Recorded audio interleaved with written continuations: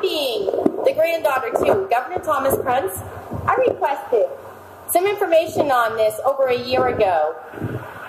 March of 2023, here I am standing today, and I'm requesting to find out where's the signage, the surname, who gave permission to gain interest monetarily off of my grandfather's surname and then destroy him without reason.